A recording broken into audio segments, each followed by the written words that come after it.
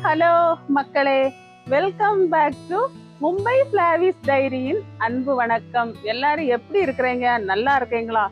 இங்க பாருங்க பயங்கர காற்று அடிக்குதுங்க. அதாங்க கிறிஸ்மஸ் காற்று அடிச்சுக்கிட்டு இருக்குதுங்க. உங்களுக்கும் அங்கெல்லாம் கிறிஸ்மஸ் காற்று அடிக்க ஆரம்பிச்சிருக்கோம் அப்படின்னு நினைக்கிறேன். நான் உங்க எல்லாத்துக்கும் ரொம்ப சிம்பிளா ஈஸியா ஸ்பெஷல் டிப்ஸோட ஒரு அடிபொழியான இறால் பிரியாணி தாங்க இப்போ நம்ம செய்ய போறோம். கட கட கட கடன்னு சீக்கிரமே செஞ்சிடலாம். வாங்க அசத்தலாம். இப்போ நம்ம இறால் பிரியாணி செய்ய ஆரம்பிச்சிடலாம். நான் ஒரு கடாயில் கொஞ்சம் எண்ணெய் அதிகமாகவே ஊற்றிருக்கிறேன் இப்போ வந்துட்டு வெங்காயம் நாலு ஆனியன் வந்து நான் கட் பண்ணி வச்சுருக்கிறேன். இந்த நாலு ஆனியனும் நம்ம நல்லா டீப் ஃப்ரை பண்ணி எடுத்துக்கலாம். நான் உங்களுக்கு ஒரு டிப்ஸ்னு சொல்லி சொன்னோம்ல இதாங்க ஒரு சூப்பர் டிப்ஸ் நம்ம பிரியாணிக்கு. இது நல்லா கோல்டன் கலரில் நம்ம வந்து டீப் ஃப்ரை பண்ணி எடுத்துடலாம். கொஞ்சமாக உப்பு போட்டிருக்கிறேன் ஆனியன் வேகிறதுக்கு.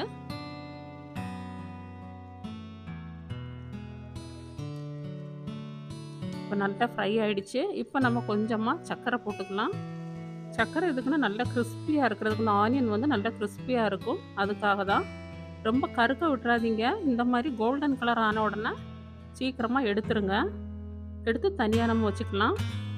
இப்போ நம்ம கொஞ்சமாக முந்திரி பருப்பு கொஞ்சம் காஞ்ச திராட்சை போட்டு ஃப்ரை பண்ணி எடுத்து வச்சுக்கலாம். எடுத்து வச்சதுக்கப்புறமா இதிலேருந்து கொஞ்சம் ஆயிலை நம்ம எடுத்துடலாம். இவ்வளோ ஆயில் நமக்கு தேவையில்லை.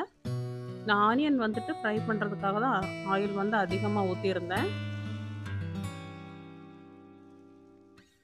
கொஞ்சம் உடம்பு சரியில்லை சவுண்டு ஒரு மாதிரி இருந்தால் மன்னிச்சுக்கோங்க. இப்போ ஆயில் எடுத்துட்டேன். இப்போ நான் ரெண்டு டீஸ்பூன் வந்து நெய் ஊற்றிக்கலாம் இப்போ நம்ம பிரியாணி செய்ய ஆரம்பிச்சிடலாம்.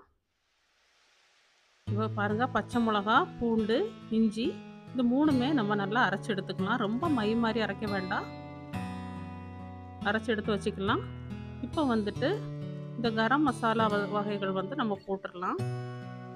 ரெண்டு பிரிஞ்சி இலை பட்டை ஸ்டார் போட்டுக்கோங்க ரெண்டு. ஏலக்காய் பட்டை சின்னதாக கட் பண்ணியிருக்கிறேன். ஒரு நாலு கிராம்பு. பிரிஞ்சி எல்லாம் சேர்த்துக்கலாம். லேசாக ஃப்ரை பண்ணி விட்டுக்கோங்க.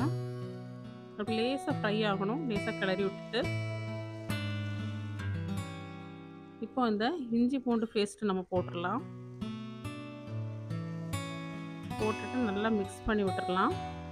கொஞ்சம் ஸ்டவ் வந்துட்டு லோ ஃப்ளேமில் வச்சுக்கோங்க. இல்லைன்னா கருகிடும். இப்போ ரெண்டு தக்காளி சேர்த்துக்கலாம். தக்காளி கொஞ்சமாக வதங்கட்டும். போதும் இவ்வளோ வதங்கினா போதும். இதுக்கப்புறமாட்டி நம்ம வந்துட்டு மசாலா சேர்த்துக்கலாம். வத்தல் பொடி ரெண்டு டீ டீஸ்பூன். மல்லித்தூள் ரெண்டு டீஸ்பூன்.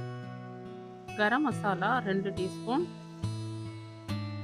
மிளகு ஒரு டீஸ்பூன் மஞ்சள் கால் டீஸ்பூன். நம்ம வந்து அரை கிலோ அரிசிக்கு தாங்க நம்ம செய்ய போகிறோம் அரை கிலோ அரிசி அரை கிலோ இறால். அதுக்கு தேவையான மசாலா தான் நான் ரெடி பண்ணிகிட்ருக்கேன் இப்போ கொஞ்சமாக தண்ணி ஊற்றிக்கலாம் ஏன்னா அது மசாலா வந்துட்டு கருகாமல் இருக்கிறதுக்காக. இப்போ நம்ம ஃப்ரை பண்ணி வச்சுருக்கிற ஆனியனை கொஞ்சம் சேர்த்துக்கலாம். ஒரு பாதி மட்டும் சேர்த்துக்கலாம் இப்போது நீங்கள் இப்படி ஃப்ரை பண்ணி சேர்த்து பாருங்கள் சூப்பர் டேஸ்ட்டாக இருக்கும். சீக்கிரமாக செஞ்சிடலாம். நமக்கு இந்த பிரியாணி செய்ய முப்பது நிமிஷம் தாங்க ஆகும்.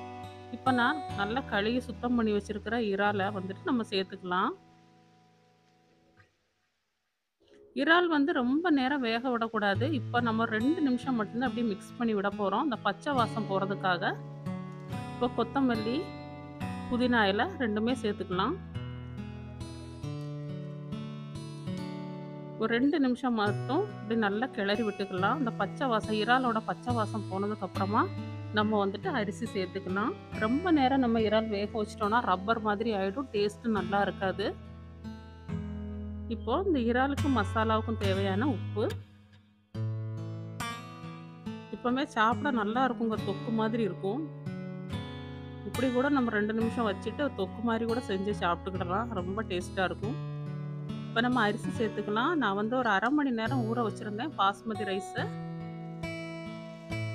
ஆஃப் கேஜி அரிசி சேர்த்துக்கலாம் இப்போ.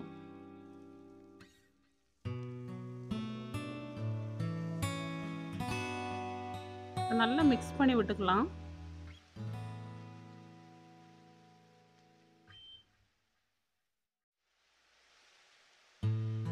கொஞ்சம் மெதுவாகவே மிக்ஸ் பண்ணி விடுங்க. அரிசி வந்து உடையாமல் இருக்கட்டும். இப்போ நம்ம மூணு கிளாஸ் தண்ணி சேர்க்க போகிறோம் நான் வந்துட்டு ஒன்றரை கிளாஸ் அப்படிங்கிற அளவு ஒரு கிளாஸ் அப்படிங்கிற அளவில் தான் எடுத்தேன். ரெண்டு கிளாஸ் அரிசி எடுத்தேன்.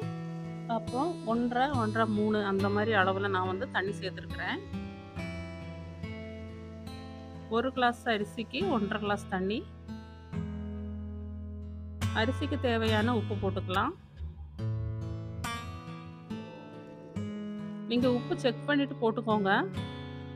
சரி நம்ம இதில் வந்துட்டு ஒரு டீஸ்பூன் அளவுக்கு லெமன் ஜூஸ் ஊற்ற போகிறோம் லெமன் ஜூஸ் வந்துட்டு எப்போதுமே வந்து கொதிச்சதுக்கு அப்புறமா தான் ஊற்றணும் கொதிக்கிறதுக்கு முன்னாடி ஊற்றக்கூடாது கசந்துரும். இப்போ ஊற்றியாச்சு இனி நம்ம இன்னும் மீதம் இருக்கிற அந்த ஆனியன் ஃப்ரை பண்ண ஆனியன் இன்னும் கொஞ்சம் போட்டுடலாம் போட்டுட்டு நம்ம பொரித்து வச்சுருக்கிற முந்திரி பருப்பு திராட்சையும் நம்ம இதிலே போட்டுக்கலாம். போட்டு நம்ம அப்படியே மூடி வச்சிடணும். ஒரு ஏழு நிமிஷம் வந்துட்டு ஹையில் வேகட்டும். அதுக்கப்புறமா நம்ம வந்துட்டு ஒரு பழைய தோசைக்கல் வீட்டில் இருந்ததுன்னா நீங்கள் எடுத்து வச்சுட்டு அதுக்கு மேலே இந்த கடாயை தூக்கி வச்சுருங்க. வச்சு அப்படியே மூடி வச்சிருங்க. ஒரு பத்து நிமிஷத்துக்கு திறக்காதீங்க. ஒரு ஏழு நிமிஷத்துக்கு அப்புறம் நீங்கள் வந்து ஸ்டவ் ஆஃப் பண்ணிடுங்க ஆஃப் பண்ணிவிட்டு பத்து நிமிஷத்துக்கு ஓப்பன் பண்ணவே கூடாது.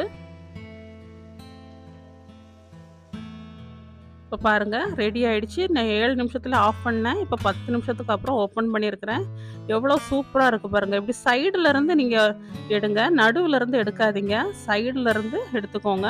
இன்னும் கொஞ்சம் ஆறுனதுக்கப்புறம் நல்லா மிக்ஸ் பண்ணிடுங்க ரைஸ் எப்படி தனித்தனியாக டேஸ்ட்டாக இருக்குது பாருங்கள் இறால் நல்லா வெந்துருச்சு. நீங்கள் இதே மாதிரி வீட்டில் செஞ்சு பாருங்கள் நீங்கள் சிக்கனும் இதே மாதிரி செய்யலாம். நன்றி.